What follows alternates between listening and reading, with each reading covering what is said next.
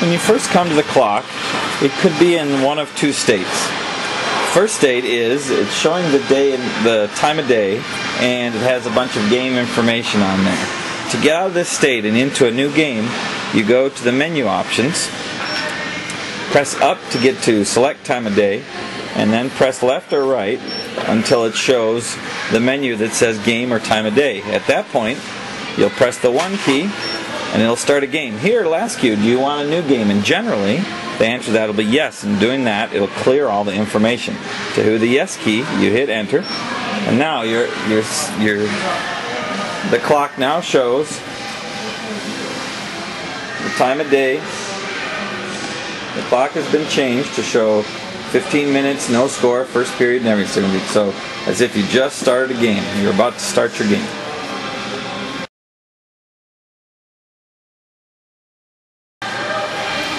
At this point, unless your time is, you you'll probably need to change the clock to set a warm-up time. Usually, most warm-up times about five minutes, but this you set the clock no matter how much time you want to put on the clock. It all is set the same way. So the, what you do is go to the Set Main Clock button. Press that. Now you enter the time in minutes and second and tenths of seconds. So say I want to set a five minute uh, warm up time, I would enter 5000. That gives you, as you can see on the clock, five minutes. And you hit enter or yes, and the clock now has changed to five minutes. At this point, if you want to do warm up, you should hit start. The clock would start running down and it would keep running until it gets to the five minutes, and the horn would go off. In general, the horn will go off automatically. It will sound for a little bit, and not. If not, you can always stop it with the stop button that stops everything. So, say our five minutes. At this point, the clock is running. Um, start and stop are the buttons you can press to start it, stop it, start it. Um, on some of the on the clock at Kings on the main clocks, the main uh, arena clocks, there's a remote control stop start. That one will stop. Use flick the switch left and right, and it'll stop and start the clock. When the period runs out, the horn goes off and the clock stops automatically, even though the remote is still in start mode. At that point, you need to remember to um, either turn it to stop before the period starts, or when you start the next period, you hit start and then everything will start rolling. You'll get the hang of that after in no time at all. So, say this is run all the way off. Um, and the periods, the warm-ups are over. It's time to start the game. At this point, you just go set the clock again set the main clock 12 minutes 15 minutes whatever your uh, your age group has for each period that's what you use to set the main clock.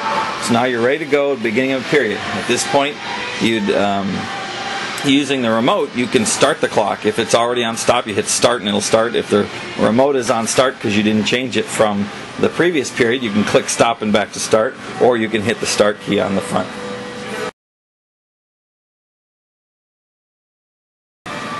The next thing you need to know about uh, generally in the game will probably be shots on goal.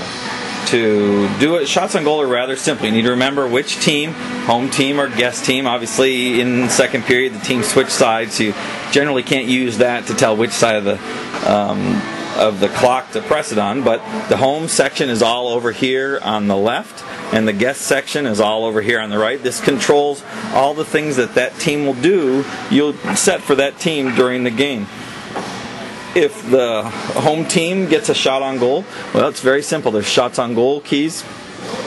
Plus one increases the shots. Minus one decreases the shots in case you put it on the wrong side. Same for guest. Every shot on goal, just pump it up one. It's nice and easy. The clock will show you the combined amounts for the whole game. Um, it keeps increasing or decreasing, you know, depending on what you do with the buttons. Very simple. Keep shots on goal. It's good. It's a very good practice when you're doing a score sheet to keep shots on goal. Coaches love that. Um, it's always disappointing when you get a score sheet from another organization that the teams didn't keep shots on goal. The goalies, parents like that kind of information. Coaches love to know what happened. You know, of course, that's still you know up to interpretation. You know, your job to figure out whether you thought it was a shot on goal or not a shot. But the clock keeping track it's very easy. Um, none of the clocks we have show saves, so there's no point in really putting that in increasing and decreasing that. And actually, saves are just however many shots on goal minus the ones that went in. So there's not really a need to keep saves in here either.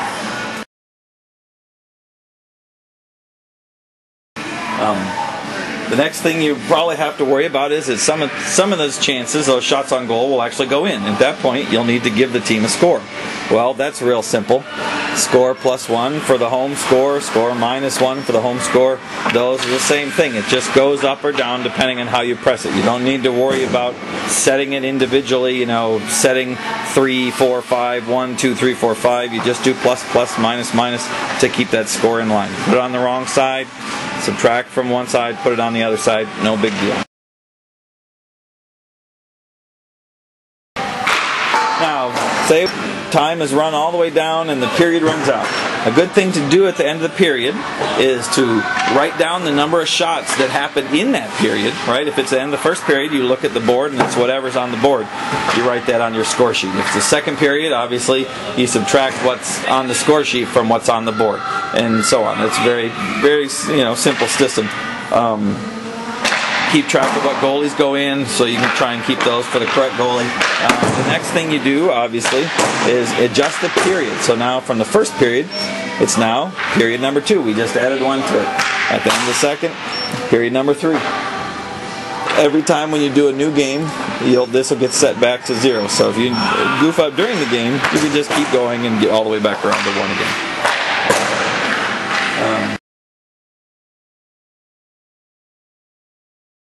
Um, one thing you might find is sometimes somebody has been playing with the clock when you get there and it's not in hockey mode. If that's the case, if it's in basketball mode or some strange football mode or something like that, to get it into hockey, you end up setting it, um, setting code 4402. To do that, you do menu, go down and ask for new code, you hit yes, you enter 4402 because that's probably not what's going to be there when you get there because some kid has been playing with it at public skate or something and it's all hit or enter and now we're back into full hockey mode see 15 minutes start time if you hit player penalty two minutes so everything's set um, that's the basics of running the clock. It's very easy. The most important part is just paying attention to what's going on, entering the penalties as they come in, get the player number, enter the time. Just take a look at the screen's very helpful. Um, everything's right there in front of you. The hardest part is making sure when you delete penalties that you delete the one that needs to come off first.